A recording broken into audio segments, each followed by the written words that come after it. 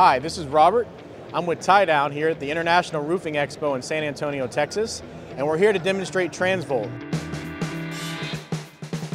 Lightweight yet durable aluminum tracks that can lift up to 250 pounds at two feet per second. Lifting heavy materials just got easier with TranzVolt by Tie Down. TranzVolt has a reliable electric motor that provides consistent lifting with minimal effort.